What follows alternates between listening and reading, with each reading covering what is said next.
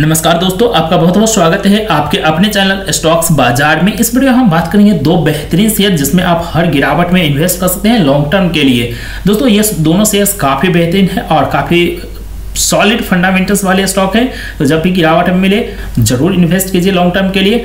तो सबसे पहला जो स्टॉक है, वो है Info Edge current market cap इसका जो है 68,000 करोड़ का है। और करंट प्राइस की बात करें 5,300 का है। जब ये स्टॉक्स 4,500 पे आया था उस समय भी मैंने बात किया था। अगर बात करें रिटर्न ऑन कैपिटल एम्प्लॉय मात्र 4 परसेंट का है। रिटर्न इक्विटी मात्र 3 परसेंट लेकिन दोस्तों ये काफ़ी बेहतरीन स्टॉक है। आप इसमें लॉन्ग टर्म के लिए बिल्कुल इन्वेस्ट कर सकते हैं क्योंकि इसका बिज़नेस काफ़ी डाइवर्सिफाइड है। देखिए नौकरी जो कि एक साथ ही साथ nine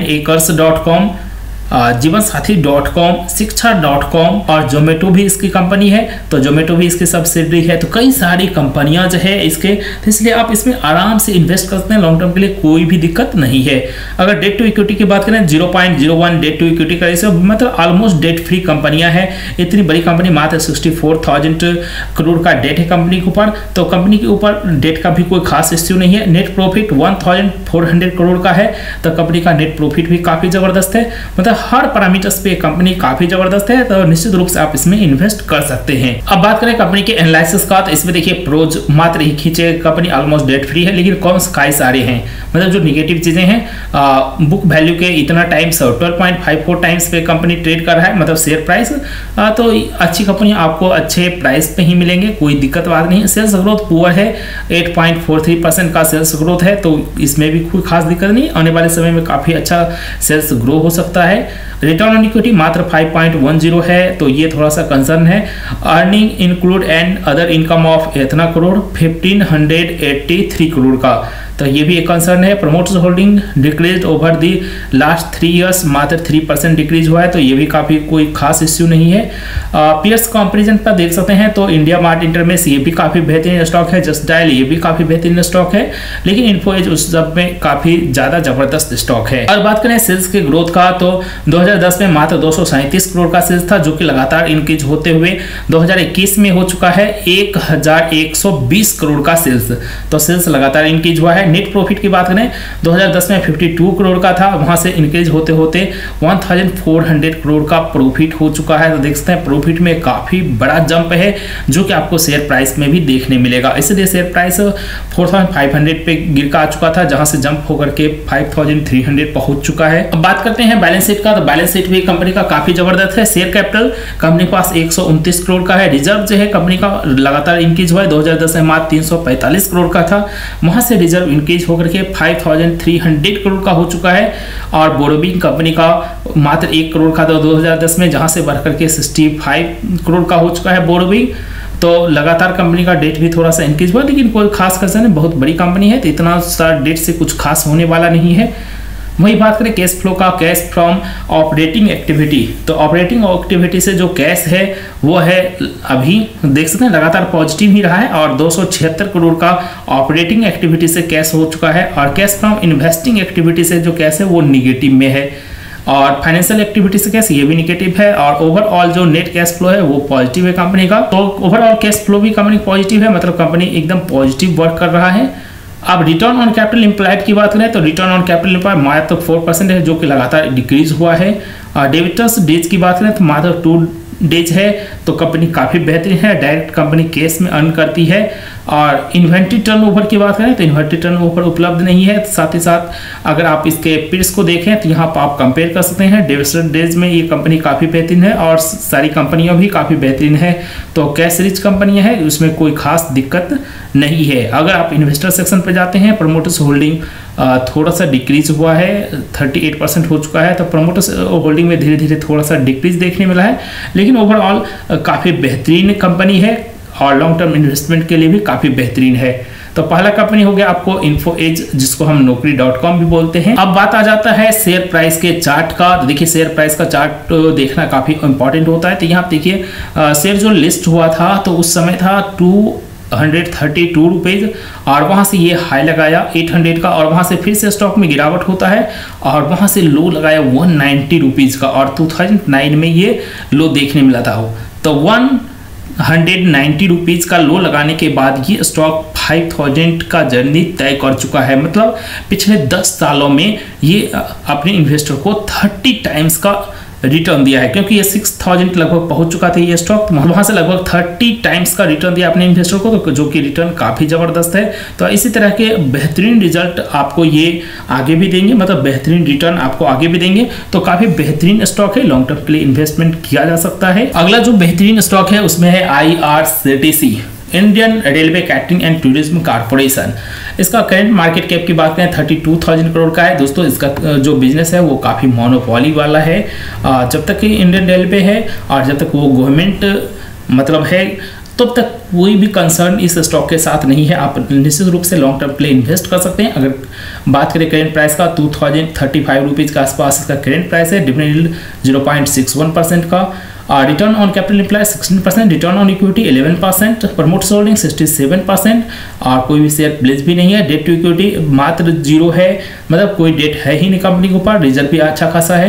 मतलब हर पैरामीटर्स पे कंपनी काफ़ी बेहतरीन है. अगर एनालिसिस पे आते हैं तो इस कंपनी के साथ जो प्रोज है मतलब जो पॉजिटिव बातें हैं कंपनी डेट फ्री है और कंपनी का जो रिटर्न ऑन इक्विटी है 27 परसेंट है, काफ़ी बेहतरीन है. कंपनी जो डिविडेंड पे आउट किया है 59 परसेंट का, ये भी काफ़ी बेहतरीन है.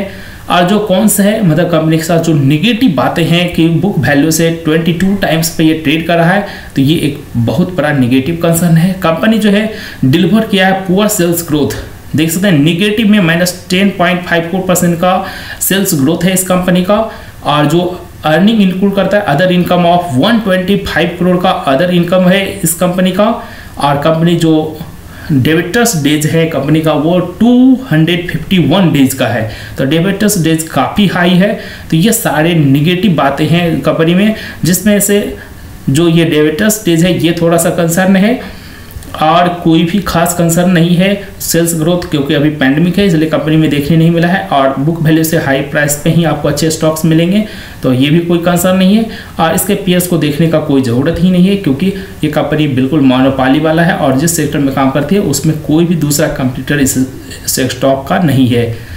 सेल्स ग्रोथ की बात करें 1059 करोड़ सेल्स था 2015 में, जो बढ़ते चला किया लेकिन पैंडमिक आने के कारण पिछले एक सालों से बिज़नेस पूरी तरह से बंद है तो काफ़ी ज़्यादा सेल्स में डिक्रीज देखने मिला है। अगर बात करें कंपनी के नेट प्रॉफिट का 2015 में 131 करोड़ का नेट प्रॉफिट था, जहाँ से प्रॉफिट लगातार इंक्रीज हुआ। लेकिन 2020 में जब पैंडेमिक आया तो वहाँ से कंपनी का बिज़नेस पूरी तरह से बंद है, तीसरे प्रॉफिट में काफ़ी डिक्रीज देखने मिला और 190 करोड़ का मात्र जो है प्रॉफिट देखने मिला है। तो ये भी मतलब कंपनी काफ़ी बेहतरीन है, सिर्फ़ बिज़नेस जब से बंद है तभी से ये स्टॉक में परफॉर्मेंस देखने नहीं मिला है। जैसे बिज़नेस पूरी तरह से नॉर्मल होता है, ये स्टॉक पूरी तरह से फिर से परफॉर्म करता हुआ आपको नज़र आएगा। अगर बैलेंस शीट की बात करें तो जो शेयर कैपिटल है कंपनी के पास 160 करोड़ का है। रिज़र्व जो है तो फिफ्टीन में 424 करोड़ का था। वहाँ से बढ़कर के जो टोटल रिज़र्व हो चुका है कंपनी के पास 1307 करोड़ का। बोर्डिंग की बात करें बिल्कुल ज़ीरो है मतलब कंपनी के ऊपर कोई भी डेट नहीं है। अगले बात करते हैं कैश फ्लो का। Cash from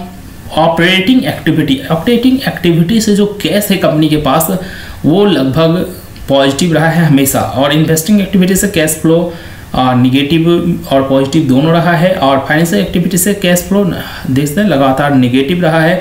overall cash flow जो है पॉजिटिव है तो ये काफ़ी बेहतरीन चीज़ें हैं कंपनी के साथ। वहीं रेशियोज में बात करें तो जो रिटर्न ऑन कैपिटल इम्प्लाइड है ये तो काफ़ी हाई हुआ करता था। अभी बिज़नेस बंद होने के कारण इनकी काफ़ी कम है। तो रिटर्न ऑन कैपिटल इम्प्लाइड काफ़ी सॉलिड है इस कंपनी का। डेबिटर्स डेज़ की बात करें, ये भी काफ़ी बेहतरीन था। यहाँ पर इम्प्रूव मतलब यहाँ पर गिरावट देखने मिला है। डेबिटर्स डेज़ काफ़ी हाई हो चुका टू फिफ्टी टू का, क्योंकि पैंडमिक कारण कंपनी की बिज़नेस बंद है। इन्वेंट्री टर्न ओवर कंपनी का जो सेल्स है वो काफ़ी बेहतरीन है। आ, देख सकते हैं कि जितना कंपनी के पास जो स्टॉक है उससे इतना टाइम्स ज़्यादा कंपनी का सेल्स हो रहा है। तो एक इन्वेंट्री टर्न ओवर काफ़ी ज़बरदस्त है। अगर इन्वेस्टर की बात करें तो इसमें जो प्रमोटर का स्टेक है sixty seven point four zero है। एफ़ का stake eight point one seven है। डी का stake ten point three four है। पब्लिक का stake fourteen point one zero है। तो हर स्टेक जो काफ़ी बेहतरीन है कंपनी में, क्योंकि प्रमोटर स्टेक सिक्सटी परसेंट से भी है तो काफ़ी ज़बरदस्त है। तो आईआरसीटी से भी काफ़ी ज़बरदस्त स्टॉक है। अगर चार्ट देख लेते हैं तो कंपनी का जो प्राइस लिस्ट हुआ था आईपीओ में, वो six hundred twenty three rupees पे लिस्ट हुआ था, और यहाँ से लगातार ये मोमेंटम दिखाया, और अपना हाई बनाया लगभग टू हंड्रेड रुपीज़ का, और हाई बनाया टू थाउज़ेंड रुपीज़ का, और वहाँ से पैंडमिक कारण इसमें काफ़ी ज़बरदस्त गिरावट देखने मिला था, और ये स्टॉक मात्र एट हंड्रेड रुपीज़ पे आपको मिल रहा था। और एट हंड्रेड रुपीज़ से ये फिर से देख सकते हैं अपर सर्किट के साथ ये स्टॉक जो है, ऊपर जाकर के यहाँ पर रुका लगभग ट्वेल्व हंड्रेड के आसपास। और अभी ये स्टॉक ट्रेड कर रहा है टू थाउज़ेंड रुपीज़ के आसपास। अगर यहाँ से ये मोमेंटम दिखाता है तो फिर एक ज़बरदस्त रैली इसमें आपको देखने मिलेगा, जो इस स्टॉक को टू थाउज़ेंड फाइव हंड्रेड के ऊपर लेके जा सकता है। तो ये दो स्टॉक है, जो कि काफ़ी बेहतरीन है लॉन्ग टर्म इन्वेस्टमेंट के लिए। तो लॉन्ग टर्म के लिए ज़रूर आप इन दो स्टॉक के साथ जा सकते हैं, जो कि आपको बेहतरीन वेल्थ क्रिएट करके देगा। आने वाले फाइव ईयर्स में टेन ईयर्स में तो लॉन्ग टर्म के लिए काफ़ी बेहतरीन स्टॉक है और जब भी कोई कंसर्न दिखाई दे मतलब कोई भी प्रॉब्लम दिखाई दे कंपनी में तो ज़रूर आप इसे एग्जिट कर ले मतलब प्रॉफिट बुक कर ले। तो उम्मीद करते हैं वीडियो हेल्पफुल लगा होगा तो वीडियो को लाइक और शेयर करना है। चाहे आप पहली बार आए हैं सब्सक्राइब कर लेना है। फिर से मिलते हैं अगले वीडियो में, तब तक के लिए जय हिंद।